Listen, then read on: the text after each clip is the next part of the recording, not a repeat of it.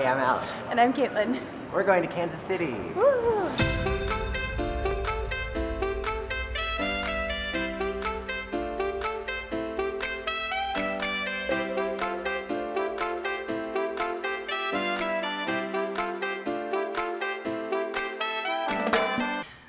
Headed to Kansas City for a super short weekend. We're going for Alex's cousin's graduation party. We would normally just bring carry-on luggage for such a quick trip like this. But whenever we're visiting family and friends, we try and bring some homebrew to share with them.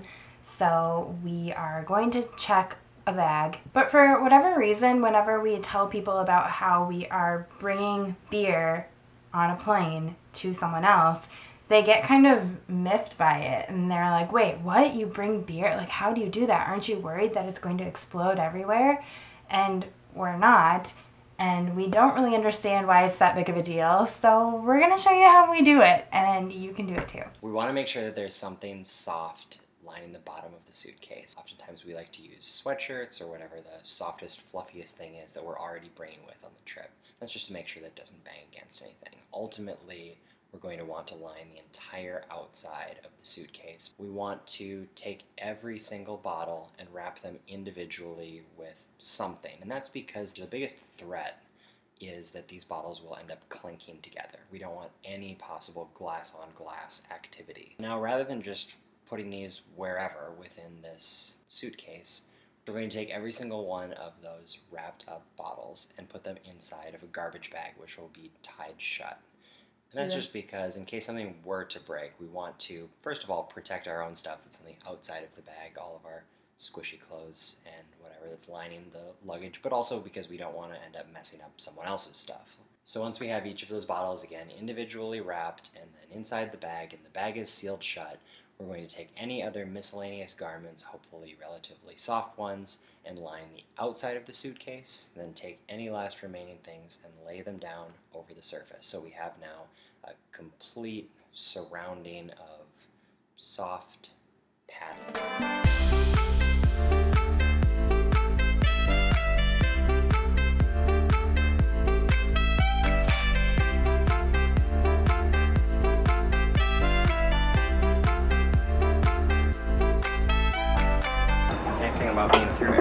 Security is it doesn't matter how much liquid we have in our carry-on containers. So I'm buying all the liquid.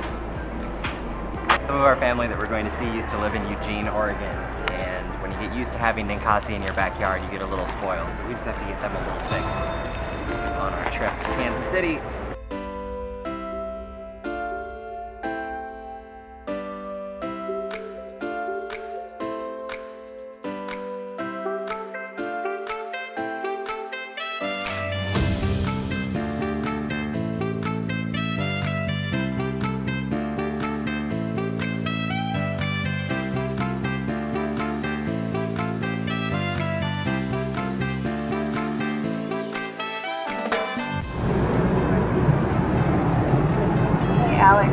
Reading?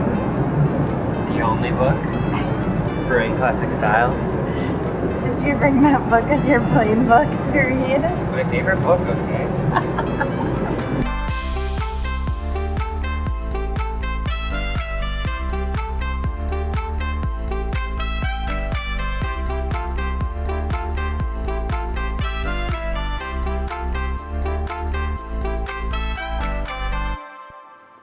Spoke too soon, you guys. Yeah, first time ever we have had a. Uh, we, we haven't yet unpacked it, but something broke in here. And I'm going to go ahead and blame it on TSA because we know they've been in our bag. Um, so there's definitely some. Oh, there's the hole. Yeah, okay, cool. Yeah, it seems like it has gotten out a little bit, so we'll see. The unfortunate thing about using our, our clothes to wrap everything up means that now all of our clothes need to be washed. But we're staying in an Airbnb, so they have a washer and dryer. This is fine. Mmm, beer. I know. It's Wow, wow. Alright, this bottle of wine is fine, but there are just shards of glass everywhere. Oh. so uh Wow, just decimated. what happened, do you think? Ooh. So this was our bottle of grapefruit IPA, and it is just smashed. How? It would have taken a lot of impact, I think, to. So maybe they really threw the bag. Yeah. Maybe TSA got jealous and smashed a bottle. We'll never know. But let this be a lesson to you at home that maybe don't trust everything that Brewing with Alex and Caitlin tells you to do. hey guys, editing Caitlin here. When we made this trip to Kansas City and started filming uh, for this video, we thought that we were going to be hitting up some more breweries and tap rooms while we were in Kansas City. The point of the trip was actually to visit family, not to do anything beer related. And so we did visit with family. We had a great time, got some really great quality time in with our family, but we didn't really do any beer stuff. So I guess this episode is actually more about how to pack beer while we're traveling. Um, and obviously, one of the bottles broke. That's the first time that's ever happened to us in the three years that we've been brewing beer and bringing it with us back to the Midwest to share with family and friends a couple times a year. So, statistically, that's probably going to happen, but I don't know. We might have done something wrong. Alex packing the bottles this time, or it might have just been handled a little bit more roughly than usual, uh, packing in the airplane and whatnot. Who knows? Anyway, the point is that uh, even though we were super confident and cocky about our bottles not breaking, obviously that can still happen. So, a couple things that I wanted to mention that we didn't mention while we were packing is that this trip was a super casual trip. If we had been going somewhere for, say, a wedding or a dressier event where we had a bunch of nice clothes with us, obviously we would have not used those clothes to pack beer. Uh, we might have pa- traveled with two pieces of luggage and put the nicer stuff in one and the beer stuff in the other, um, or we might just not have traveled with the beer at all. Uh, all of the beer that we packed was light. Um, so if you're traveling, obviously, with any dark beers, you don't want to be wrapping your clothes, your light colored clothes, around the dark beer in case something breaks. Um, with light beer, it's not really going to stain clothes, especially if it's more casual clothes like we had.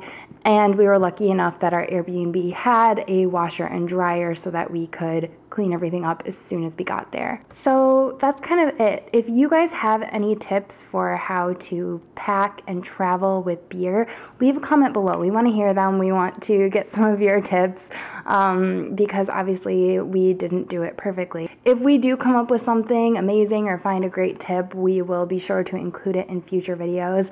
And either way, we have some really great content coming up on our channel soon. So be sure to hit that subscribe button so you don't miss it.